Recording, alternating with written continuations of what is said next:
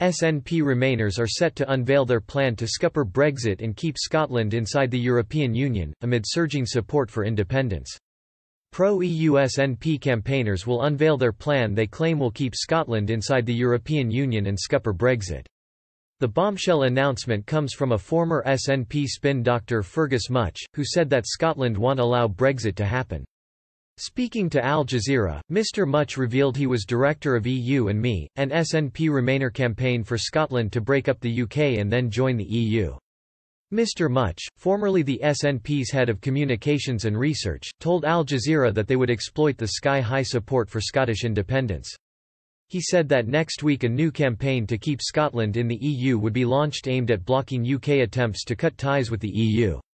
The Remainer said, just a few months ago, it was unthinkable for the UK to leave without a deal. Now the Tory government seems to be talking that up. We can't have that. Scotland hasn't voted for that. He added, Scotland is a firmly pro-EU country and so yes we will be campaigning to ensure we are backing Europe. In recent weeks, polling has consistently suggested that more than half of Scots want to leave the United Kingdom. This surge in support has been tied to Scotland's leadership in controlling the coronavirus compared with England, and a hostility to Brexit.